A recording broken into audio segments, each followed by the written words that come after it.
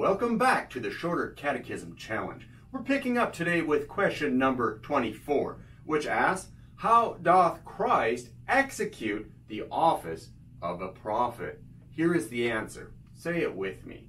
Christ executeth the office of a prophet in revealing to us by his word and spirit the will of God for our salvation.